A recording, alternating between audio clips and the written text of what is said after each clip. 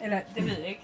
Jeg, jeg tror heller ikke, vi helt kunne den anden. Kan du ikke bare tage den fra A til Z? Ja, For helt sæt. ja sådan. Øh, når man trykker på hjem, så ender man her. Ja. Øh, hvis man skal lave en kopi, Ja. så ligner den Ja. det, I er vant til derudfra. Ja. Fanerne er det samme. Ja. Øh, er der nogen af dem, vi har undret sig over på den, på den anden, som vi skal Øh, kigge på? mm, jeg ikke. Jeg synes godt nogle gange, jeg har puttet en A3 ind, og så skulle den omstille sig til det, og det ville den ikke selv finde ud af. Og så har jeg bøvlet lidt med det. Hvis du, det der tre ligger i, Ja. og så vil du gerne have ned på en af fire. Nej, jeg vil gerne have den ud på en A3. I, øh, Åh, oh, nej. Hold op. Nå, Jeg plejer der, jo- der starter vi med at vide det. der, der er døde. Jeg tror, vi skal have en ny nu. Når Jeg du plejer- fodrer den derop så, hvis du skal have en A3 ud af det. Nu har jeg lagt en af tre i. Ja, Så som standard, så vil den sige, at det er en af tre, der ligger heroppe, og den vil lave en af tre. Jamen, det er ikke det, jeg snakker om. Af Jeg snakker om at lægge en bog ind her, Ja. som er en A3. Ja. Det er måske det er anderledes, ikke? Det er anderledes, ja. Ja. Øh, hvis det er det, du gerne vil, Ja. så kan du gå ind og vælge original størrelse. Ja. Og så sige, fordi den bliver noget forvirret, når det ikke fylder det hele. Jamen, det er derfor, den bliver forvirret nemlig. Ja. Øh, og så kan du ind og sige, jamen det her, det er en af tre. Aha. Du skal ikke kigge på, hvad det er. Det er en af tre. Det fortæller jeg den. Ja. Okay, super. Så hvis man har fortalt det her nu, Ja. øh, og lægger et af fire har vi her, Ja. så bliver jeg ved med at sige, originalen er en af tre. Ja. Fordi du har lige fortalt den, det er en af tre. Og hvis jeg ikke lægger noget i det, men bare trykker print, finder den så ikke papiret nede i skuffen? Den, den står til af tre papirer. Ja, Øh, ellers hvis du vil tvinge den til noget andet papir, har et papir valgt. okay, men og det så vil jeg sige, ikke. at jeg vil gerne have den. Det er en af tre, den originale. Jeg vil have den ud på en af fire. Øh, og hvis du så vil have den til at automatisk finde ud af størrelsesforhold, nu tager den stadigvæk en til en. Ja. Så siger du zoom, Mm. auto. Så ved den, at det er 70 procent, den skal lave den til. Okay, fint. Hvis den skal fotografere den ned. Og hvis den bare skal køre den ud på en A3, Ud på en af tre, så lader du være med det her autozoom. Og så finder den selv papiret i skuffen. Ja, hvis vi går helt tilbage i reset, så starter vi forfra her. Mm. Så siger du, at jeg fortæller den originale størrelsen, Mm-hmm. er der 3, Ja. så tager den af 3 Ja. ja. kassetten. Ja, fint. Tak. Det har jeg selv haft problemer med nemlig. Øh, Jeg ved ikke, om jeg springer hen over noget nu, men du nævnte lige det der med, at man kunne faktisk scanne direkte til mail. ja, den kommer vi. Den kommer vi til. Altså, nu er vi helt nede i basalet. Nu skal vi bare finde ud af at tage en kopi først. Ja, du starter med en Jeg, kopi. jeg filmer Ja, her, så ja, jeg, ja, jeg, ja, jeg, ja, ja, ja. Øh, Inden vi skal til det der indviklighed. hæfteklammer, Hæfteklammer. det Ja, vil vi har brugt. aldrig, ja, jo, vi, vi har aldrig brugt det. Jeg har aldrig fundet ud af, hvordan det virker. Det kan man også godt. Ja. Øh, hvis vi tager to papir. Jeg har aldrig, jeg har aldrig brug for det. Nej, det, ja, det behøver vi heller ikke, fordi vi kan, vi kan Det er ikke nogle andre, få det... det er nogle andre, der har brug for det. Ja. Nå. Nå. Efter. Så jeg vil gerne have et hæfteklam i hjørnet dem her. Hvor kom du ind i hæftningen? Hæftningen har jeg herude. Nå, det har du der. Sådan. Der, der har jeg den også. Ja, ja, fint. Så jeg vil gerne have en hæfteklam op i hjørnet den. Mm-hmm. Øh, jeg, jeg skal bare bruge et enkelt. Nå, okay, det er med to, der Ja. er dumme. Ja. Hvor ligger de der hæfteklammer henne? De sidder inde her. Hvordan får man dem derinde? Det er nok egentlig. Fordi de går, det, det er nu, vi først begynder at hæfte. Så går det hurtigt. Så er der lige Ja, pludselig der er ikke flere hæfteklammer tilbage. Nej, nej. Og der er mange. Og så ringer vi bare til dig, når der ikke er flere. Til mig? Nej, til, Nej, ja, til, til- til kopimand. Øh, Jeg er en anden. Nå, Så ser sådan ud. Ej, hvor godt. Ja, Nå, rent billedmæssigt, så var det egentlig et skub, du lavede der. det var det ikke det? Jo, Nå, det- blackout. Det synes jeg, det var, det var sgu planlagt, det der. Det var da så vildt med mig. Med vilje. Sådan, Nu nu små dør den igen. hæfteklammer. Ja, Teksten er det åbne. Så sidder de her. Okay. Og sådan en, en tynd streg er jo en klamme. ja okay. Og vi, vi har jo slet ikke det behov, så det er Ej, fint. Så Der er der, der er rigtig mange. Der er til et par år, der er. Øhm, hov. Det er fint. Sted det, det står inde i den Ja, der ja. dør Ja. der. Det er fint. Og med det samme, du, når du åbner, Ja. når du sidder fast i den, så begynder man at tegne til. Mm. Det er jo hæfteklammer. Ja. Så har vi at lave det øh, lysere og mørkere. Mm. Normalvis så er det jo, øh, eller ofte, så er det fordi, du har et eller andet, som den vil lave det hele mørk baggrund på. Og ikke fordi du egentlig vil have teksten til at være lysere, men du vil bare af med baggrunden. Hvis det er et stykke øh, farvet karton, Okay, eller et ja, eller andet ja. musik. Det vil jeg gerne væk, det der. Øh, den traditionelle gammeldags måde, det er at skrue her, Mm. og sige, så laver du bare lyser. Men så bliver teksten jo også lys. Ja. Så får du den der musegrå tekst på hvid baggrund. Det er ikke tilfredsstillende. Det kan godt gøres bedre. Øhm, når man render herhen af, så kan man justere baggrund. Hvor man kun jagter baggrunden. Det er sandt. Så du får avissiden til at være hvid baggrund med sort tekst. Okay. Det er det smart. Øhm, Hvis du tager en rød baggrund, kan du få den helt hvid. jeg tror godt, jeg kan tvinge den til at... Det er bare lige for at vide, hvor grænsen går. Det kan godt ske, at jeg skal skubbe lidt på at lave den lyser samtidig, Okay. øh, når du er i en, en rød. Ja, god. Egenskab. Øh, så har vi øh, pjæse. Kopier på begge sider. Ja, kopier på begge sider har du også helt ude i Ja, den er her. i duplex. Den ligner den anden. Den hedder duplex, Ja. og det er begge sider. Mm. Så har du en side til en side, en side til dobbeltsidet, dobbeltsidet til Det kender du, Karin. Ja, den kender Ja, jeg. det er godt. Så har vi... Det er en af dem, jeg- Så ringer det er vi en af til dem, jeg- Karin, det er en af dem, jeg og- Ja, det er kender. godt. Det er en af dem, du bruger. Ja, Den er også flink. Den, er god. Ja. Øh, igen til avispapir, helt tyndt, kan man få den til at forsøge at undertrykke, at du får bagsiden til at blive synlig. Smart. Øh, Kan man fjerne noget af alt det, den kan, så man ikke behøver at overskue det hele? Ja, så bliver det meget, meget simpelt. Ja, det er Så det. bliver det sådan for læse øh, svagsynet. Så bliver det for hørehæmmet Ej, og fordi så passer det til Så- dig. så Annette. bliver den det nemlig- kan du ikke, så passer det ikke til mig. Nå, okay, godt. Så. Ja, det var da også ærgerligt. Øh, Så nu skal bare være med det, du ikke skal bruge Annette. undlad tomme sider. Ja, for eksempel, ja. Øh, at den springer dem over. Ja. Hvis du har Hvis der er et, sådan et sæt, øh. Hvor du har tomme sider indimellem, så du ikke bruge papir på at skrive dem ud. Så kan man... Øh, hvad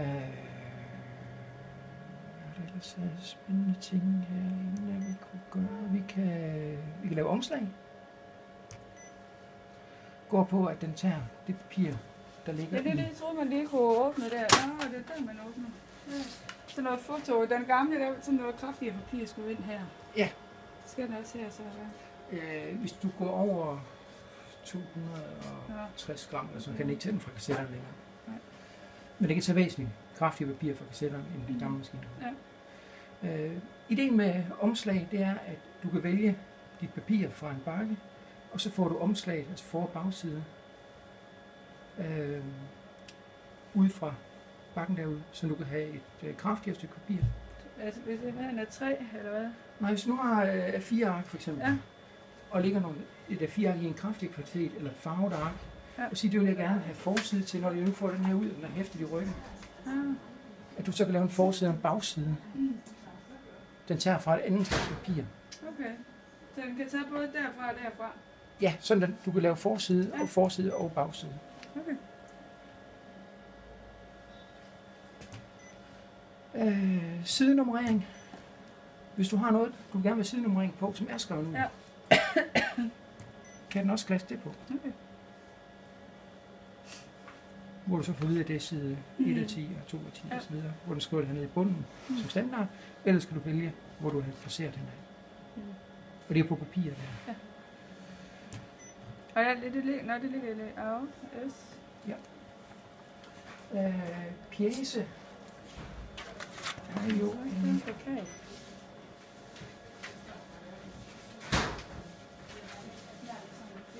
plakat. Når man nu har fire sider, skal vi se, om vi har nok papir, der vælger til at lave en firs. Hvad laver den her til?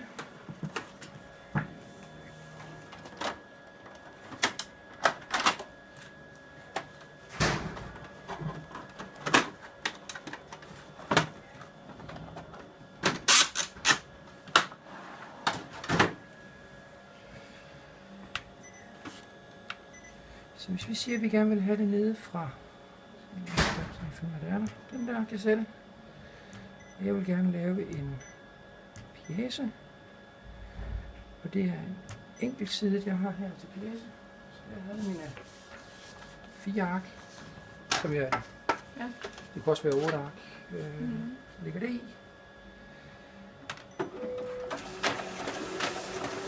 Og det går hurtigt. Det gør det da. Det var godt. Nu kan vi lige være klar. Ja. Med alt det, du skal printe Ja. ud. Nogle gange, men også når Mike er henne og laver hendes... Nå ja, ja, for søren. Godt. Så skal det gerne op i den her. Ah. Wow. Det Så er lige noget for mig. Ej, det æder med dejligt. Hvor trykkede du hen? Pjæse. Så du det? Øh, pjæse. Der, hvis vi må, vi må prøve at trykke Hvis du øh, synes, det var en rigtig smart funktion, så er det en, der Jeg har optaget det. Det gør. har- Hvorhen siger du? Så det var genvej. Så kan vi... Ingen.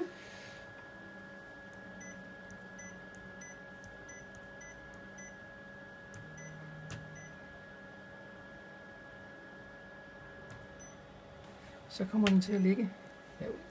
Ej, så næste gang du skal lave en pjæse, så gør du bare der. Det er Det er dejligt. smart. Nej, det er godt med genvejstaster. Ah, We like. Hop, og så tænker jeg igen, mig sætte der. Jeg skal nok sørge for, at den her bliver offentliggjort, ikke?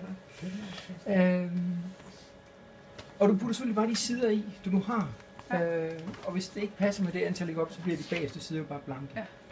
Så, der. så kan Ente sig en godt pakke sammen. Øh, fra Printed Primer kan du også godt lave pjæse. Øh, sådan at du kan tage et øh, for eksempel pdf-dokument, der laver de her fire, og så bare sige, at du har en pjæse ud af det. Sådan. Så er du fri for at lave sideopsætningen i det samme. Så skal du bare have en side 1, 2, 3, 4, så skal du ikke se at rundt og Nej, alt det, man det kan. passer. Ja, ja. Ja, Jeg, jeg, forstår det ikke, men Ja, ja, det, ja. jeg kan sige, de, de, de, de har gang i er den der. Ja, vi, det er godt, vi har Henrik med her. Jamen, jeg synes, det er så godt, Henrik, fordi jeg tænker, hvor er panikknappen, når vi skal ringe til dig og sige, prøv at er nu sidder reset. papiret fast. Det er lige sæt. Hvordan, hvor kan papiret sidde fast hen? Det kan jeg? sikkert sidde kan vi lige tage bag. Det, det, det slader, tager vi det senere. slader skærmen om. Godt så, Det det tager den også. Øh, det er jo sådan set... Øh, program er, hvis man gerne vil... Hvis man har lavet en hel masse valg, så kan man gemme det, så du kan kalde den frem igen via program. Når du nu har lavet alle de valg, du kunne tænke dig, så kan du sige tilføj, og så give det et navn. Fedt. Øh, det er jo sådan set kopi. Ja. Det vil sige, på den måde, der kan man faktisk standardisere opgaven. Hvis Mike nede i Hjernevaskeriet ved, at hun har en bestemt procedure, hun har kørt på nogle bestemte ting, der skal publiceres, så kan hun lægge den ind som en, en, en valgfast map. hvor det hele er valgt fra starten af. Kassette valgt, alting er valgt. Ja. Ja. Øh, send e-mail. Ja. Der er der en øh, adressebog.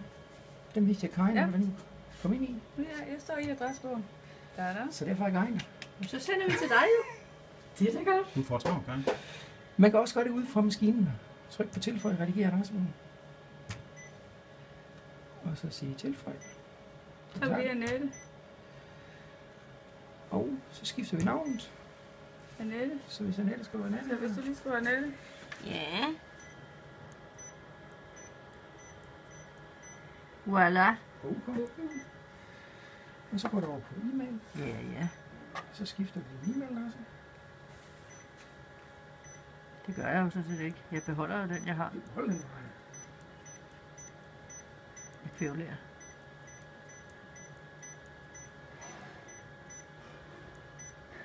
Okay. Nej. Yep. Så spørger jeg nemlig, om du også vil lave en one Hvad er det for noget? De 10, du havde i... Hvor mange er i sådan... Og der er mailadresse. 45 Ja. stykker. Øh, de 10, der kommer først, det er de heldige, fordi de kommer ud og ligge i bunden med one shots. Det er også tre jo. Ja, ja, ja. Vi er her. Så hvis du siger ja til den der, Det gør jeg da. Altså det der med at komme foran i køen, det kan, det kan jeg rigtig godt lide. Jeg tager 007, jeg bare tager en af de 10 først, så ligger de... fordi den kan jeg huske. Men du skal ikke huske dem. Det, dit navn kommer til at stå på navn. Nå, Og så bare næste, hvis du gerne vil 007. men det vil jeg gerne. Og næste. Okay. Og hvad vil det så sige? Nu står jeg derinde som... Det ser vi nok lige om lidt. Nå, tak. tak. Så nu står du hernede. Så Ah, hvis du gerne vil sende en mail til dig selv, så skal du bare trykke der og start. okay. Ah, så hvor er jeg henne? Men det sender ikke mail til sig selv, gør man? Jo, det gør det du, kan hvis du, hvis du skal scanne noget, noget ind og have det sendt som et billede eller en pdf til dig selv. Så Ja, er du fri for at gå ned på mediet hver gang og gøre det. Øh, Hvis vi... Og kan vi også scanne på den? Det er jo det, der er meningen med Det er det. det, der er meningen med det her. ja. Så det betyder, at skal udmelding, fra kan vi også kan den rejse brød også? Nej, det er måske ikke det, der er meningen. Nej, udmeldingen officielt, fra officielt hold, det er, at vi kan sige til vores kollegaer, at Ja. vi behøver ikke gå ned på media og scanne længere. Men vi har også en scanner. Så kan de gå ned til tekstil. Nej, nu skal de ind til Geil. Nå, okay. Fordi nu ved Ja, Geil, nu skal de igennem her. Eller scanne her, jo. Ja, nu skal de scanne her. Ja, Ej, I ved det jo lige så meget. Men den her, den ser god ud, den scanner her. Men hvis du har et eller andet, øh, hvor sige, det er en, der normalvis ikke bruger den. Øh, det kan være elev eller et eller andet. Så kan du bare indtaste mailadresse, okay. og så Okay. skrive din mailadresse. Okay. Du behøver ikke at hælde alle sammen ind, hvis det er en enkelt gangs forestilling. Mm. Hvis man nu vil maile til mange på en gang herfra, kan man det? Til alle, for Godt eksempel. Skal du lave en gruppe?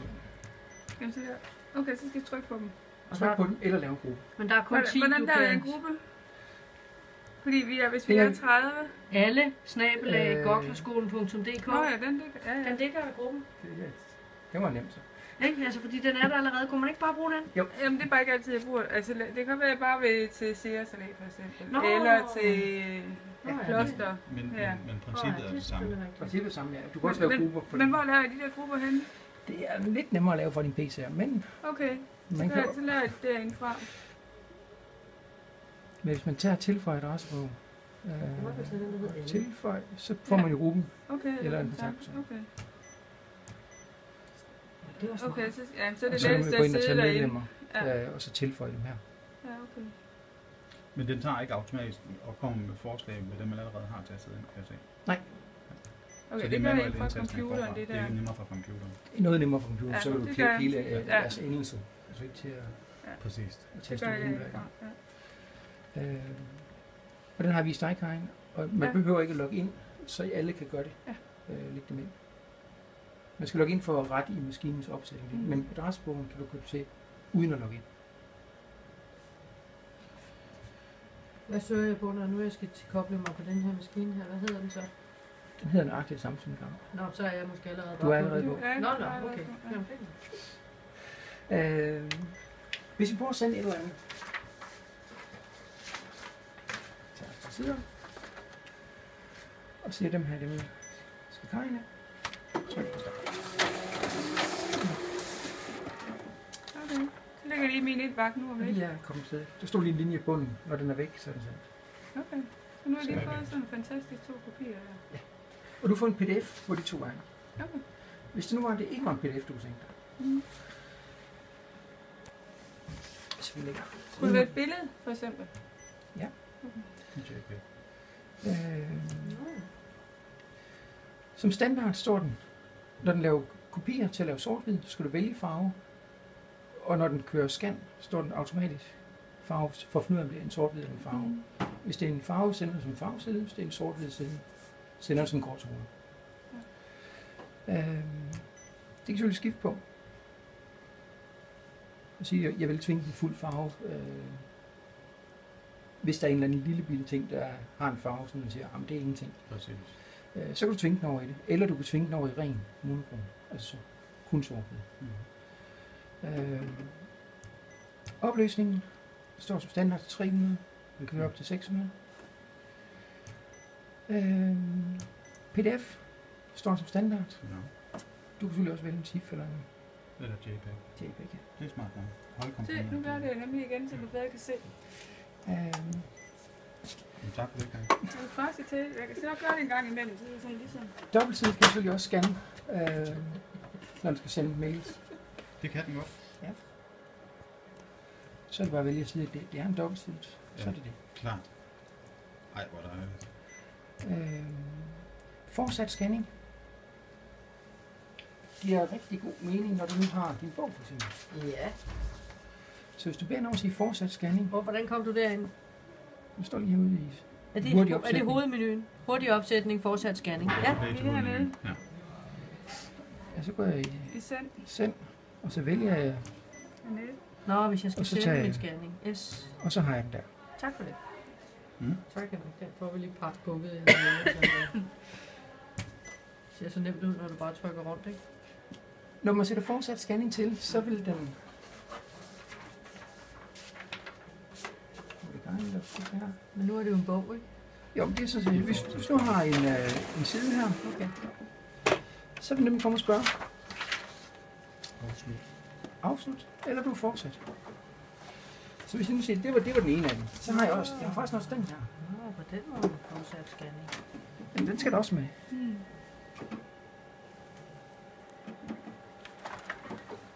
Og så var jeg sådan set færdig. Det var skønt. Afslut scan. Og så sender han. Det er fandme smart. Ja, det er Så du får det samlet til én pdf. Ja, ja, ja, det er skide smart. Øh, Det kan vi godt lide, når de søger ind på uddannelse, fordi vi rigtig gerne vil have hele lortet samlet som en pdf. Ja. Mm. Ja, det er så smart. Ja, det er nemlig så dejligt. Ja. Fordi det har vi virkelig bøvlet med. Ja. Når vi også vi skulle sende vores opgave til diplomen. øh, Super fint. I forhold til at samle, så kan den også gøre det modsatte, Kan. hvor du splitter den. Så hvis du lægger 50 sider op i dokumentfødderen siger, det vil jeg gerne splitte, så jeg får en mail med 50 pdf-dokumenter. Det kunne fx være regninger, man gerne vil have splittet ud. De skal jo normalvis være sit sted hen, Ja. når man skal arkivere dem. Øh, så vil lægge hele stakken i, og så ind til dig selv, og så får øh, vælge som en side et dokument. Så du ikke sidder Ja. en side, en side, Ja. Øhm, original størrelse, ligesom over ved kopi. Man også kan tvinge til, at det er en bestemt størrelse. Mm. Baggrund, det samme som vi havde før, øh, med at lave lys for baggrund, øh, undertryk, øh, der når det kommer igennem, zoom. Det snakkede vi ikke så meget om før, men øh, den har vi nok ikke så meget Kan du ikke trykke på den direkte hernede, hvor der står zoom 100 procent? hernede. Nej, Det du ikke. Trykke Nej, du kan få den til at, øh, hvis du lægger noget ind her, og siger vis, og så vil du have en destination.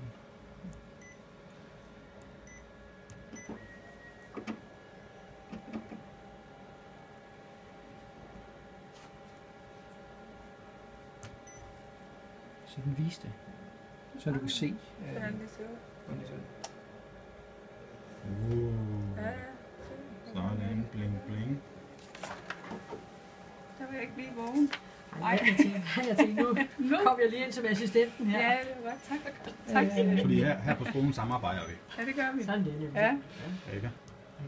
Det er det, vi gør. Øh, hvad har vi ellers så spændende ting her? Kantslætning, jeg ved ikke, om det er noget, I gør i. Det kan også en kopi. At man øh, sletter. Hvis du nu har det været øh, et eller andet, du vil have lavet rigtig pænt, men så er der nogen, der har lavet huller og en klips i, Åh, ja. så giver det sådan nogle skygger. Ja. Øh, så vil sige, dem vil jeg gerne slette, de her kanter. Man kan også Ja. individuelt øh, slette siderne. Nå, nå. Både i scan og i kopi, kan du godt. Mhm. Øh, For her har vi nemlig rene linjer. Der er ikke nogen skygger. Ingen skyggesider her. Ved en bog, så har du jo det med, at den, øh, den vil jo ligge sådan her bue op Ja. på ryggen. Så der har du selvfølgelig også en indermarkedssætning. Hvor meget du så sletter det, så du ikke får den der sorte kant. Det er så flot. Wow. Det er fantastisk. Så hvis jeg nu har øh, skrevet noget øh, på mit øh, Word-dokument, og det er bare skrevet ud i en køre, der er selvfølgelig lidt komma og punktummer, men der er ikke rigtig noget afsnit, og jeg vil rigtig gerne have det sat pænt op, så kommer jeg herud med, med det, jeg har på min... Kan den så sætte det op også? Nej. Nej, godt. Stavekontrol og sådan noget. Ja. Og også oversat til kinesisk. Og, og cykle ned til, til god proces med Ja, tingene. hvor Nej, det skal du irriterende. nok ikke lige med. Og tage gryder med hjem på vej. Nej. Ej, Og et nej, til sidst. Så er jeg alligevel nødt til at lære noget ja, ja, ej, hvor irriterende. Ja, det havde været smart. Man kunne bare lægge opgaven, og så lave, løse den, den det? herinde. Ikke? Fodre den. Så kommer den ud med løsningen. Ja. Og kan, kan, den også, kan den også indsætte et mummeltekst? Så, Nå, er det nu, jeg går, tror jeg? Ja. Øh, det, der, det var smart. og det er så ikke set endnu.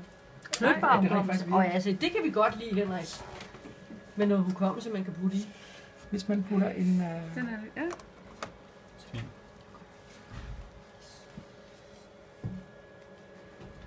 Så har man man gerne nu... opdage det lige om lidt. Der sker der ikke noget. Jo, det sker noget. Det vil jeg gøre så. Vil du fortsætte? Ja. Og så jeg putter dokument i. Og siger, at jeg gerne vil gemme fil. Så får jeg sådan set et Mulighed for at kunne sige, hvilket format og opsætning. Hvilket Så format? gemmer den det der. Så siger jeg, det er det fint, det Er det smart? Ja, det er skidesmart. Okay. I stedet for at sende til din e-mail, så kan du sende direkte til medier. Hvad mener du? Mm. Sender Nu- den nu- derind i? Nu ligger den her på. Ja. Øh, hvis jeg så har et, kommer tilbage med den, eller kommer med et pdf-dokument eller et billede, så kan jeg også markere det og sige, det vil jeg gerne udskrive. Og så får jeg igen en reduceret udgave. Nu bliver jeg nødt til at spørge mig om noget rigtig irriterende. Er der OCR? Der er øh, ikke OCR, øh, du kan tilkøbe. Du kan slå det til tre gange af en måned, for at se, om det er noget, du kan bruge til noget. Hvad er det for noget? Jeg aner ikke, hvad det er. OCR, det gør, at man, øh, et hvis man kommer, lad os sige, med, med et dokument og scanner det ind, så kunne man godt tænke sig, at i stedet for at det bliver scannet bare som et billede, at det bliver scannet direkte som en Word-fil, så man kan gå ind og editere i det bagefter. Ja, det er det. Så det ser ud som om, at det ligesom har fået tilsendt i en almindelig skrivbar fil. Ja, skørt. Det er skidesmart. Det hedder Ja. OCR. Ja, det kan vi godt lide. Det den gør, hvis du aktiverer det, det er, at den tager pdf'en, og så oven på den klasker vi teksten, det sige, du kan markere teksten ind i Acrobat Reader og kopiere den, Okay, og så flytte den over i Word. okay, det er for. Det er fint. Jeg tror, jeg siger tak. Okay, ja, men det er fint. Fordi at, øh, så jeg har ikke brug for mere nu, tror jeg. Ej, når den ikke kan løse dine opgaver, så så ikke- er når det lige mig. Når den ikke gider tage til, Så kan jeg sgu være ligegyldigt. når den ikke tager krydder med hjem. Jeg er ikke så opfødt. Ja. Øh, men det kan aktiveres tre gange, øh, derefter skal det købes. Så du kan aktivere Okay. det og se, om det er noget, du kan bruge til noget, om det er godt nok til det, du gerne vil. Øh, og hvis det ikke er godt nok, så er det jo bare ikke godt nok. Så skal du øh, autostore eller et eller andet andet. Men det kan ikke svare sig. Fordi det er så lynhurtigt at gøre gratis på, på nettet. Øh, der er lidt kvaler med EVO Ja, på den her? på den her. Okay. Nå, det er ikke godt. Så det gør vi ikke så. Men det er fordi, at indtil videre, så er alt driver og og ting og sager, det nyeste firmware ting og sager, det er amerikansk standard. Ja. Ikke europæisk.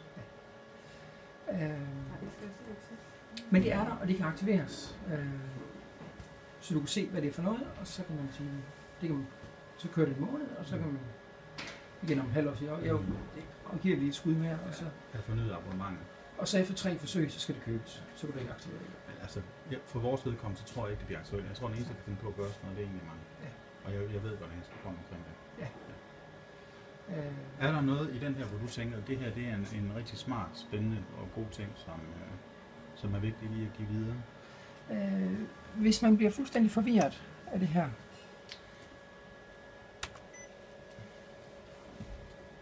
så bliver det hele meget, meget nemmere. Oh, ja, okay. Så går man over i sådan noget meget simpel mode. Ja,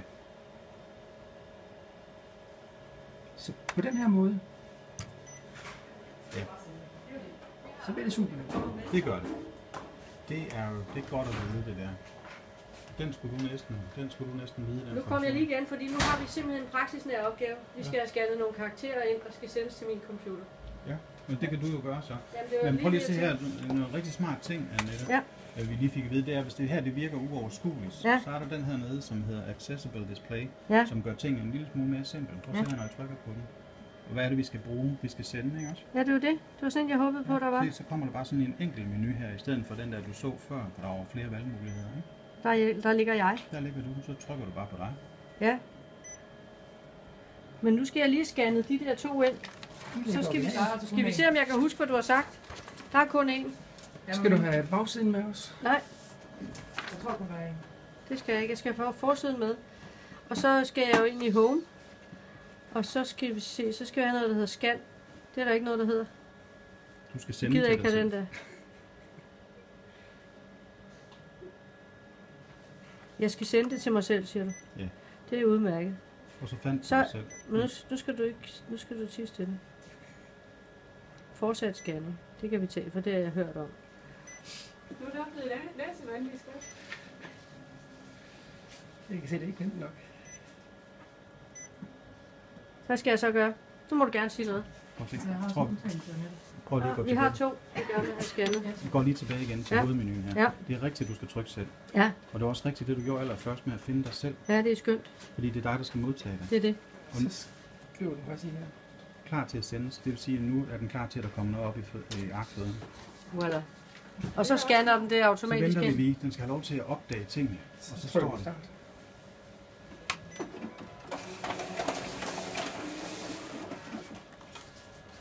Det var det. Det er dejligt, hva'? Sådan. Mission completed. Vi tabte ikke nogen. Der var ingen, der døde. Det er også smart, der skal noget i. Det driller mig hele tiden. Det er simpelthen så godt. Men nu har vi gjort det. Er vi så, er vi så sikre på, at det er den rigtige side? Vi har Du fået. har fået begge sider. Kan vi se, hvad vi har gjort? Det kan du se på din computer. Ja, det kan jeg så gå ind og se. Vi ses. Og den har, den har sendt krydder med, faktisk. Ja, det er dejligt. Tak. Og en smiley og sådan.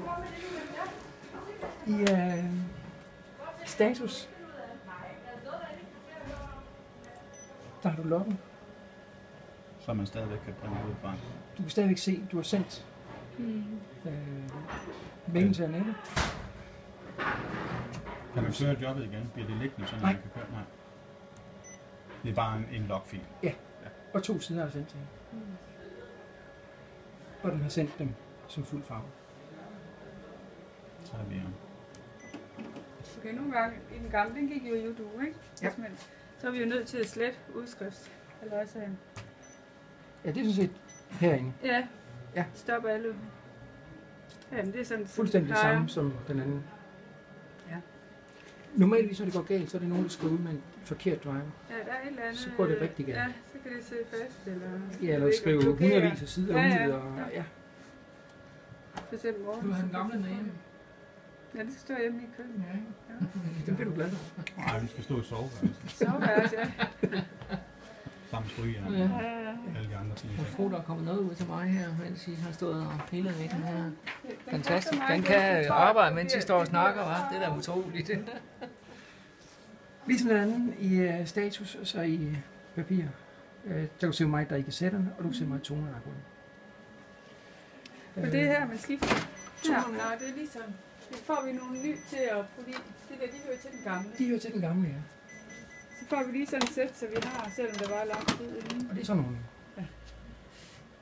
Man kan Det de ligner-. Nej, nej, det er faktisk ikke de ud. Øh, overskudsboksen var sammen med Det de plejer at ligge i de der... Ja. de der rør. Ja, er- Det er passer de, det er de ikke.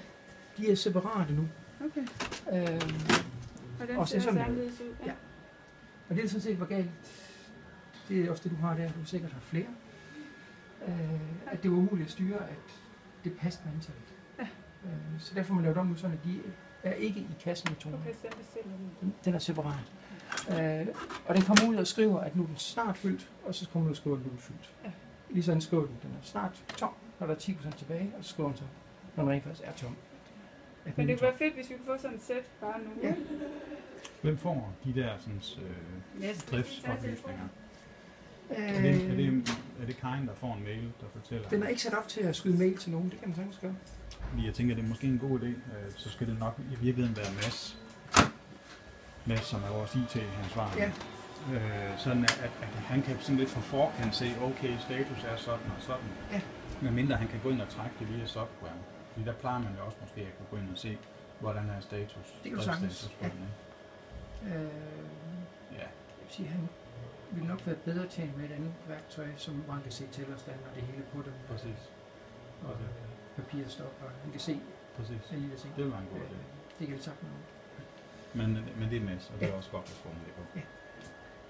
Han er god til at, sådan, øh, når noget ikke ser ud til, at det ikke er, som det skal være, Ja. ja. lidt på forkant og på aftrækkerne. Så det vil være godt. Øh, Hæfteklammerne går fra OK til tom. Den, den giver ingen varsel om, Nej. at den snart er tom. Men det er så også det eneste, der ikke gør. Det er det eneste, der ikke giver varsel af. Okay. Øh, Men der kan man vel stadigvæk se status, hvis man går ind på, hvad skal man sige, webdelen. Nej. den, den ved bare, at der er hæfteklammer, og så ved den, Okay. nu er der ikke flere. Okay. Øh, Og det kan kun læses her. eller på, øh, på, øh, på Den det her værktøj kan man også se. Okay. Øh, hvad har vi ellers, som er anderledes? Hvis man nu kom til, fuck, jeg er sat den til at skrive 500 ud, ikke? Og jeg skulle kun have 5. Kan jeg så stoppe den der? Så hvis det er en kopi, så kan du stoppe den. Hvis, Ja, det, så- er, hvis det er et udprint, Ja, hvis det er et print, hvis det er et udprint, så skal du ind her og stoppe den og der. stoppe den her. Ja. Men hvis det er bare print der, jeg kom Hvis det er en kopi, så er det bare... kopi, så ja. stopper jeg den der. Øh, ved kopi kan man også sætte et maks antal. Mm. Den står til at kunne køre 999 Ja.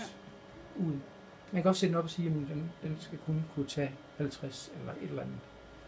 Øh, hvis det er, at man vil det.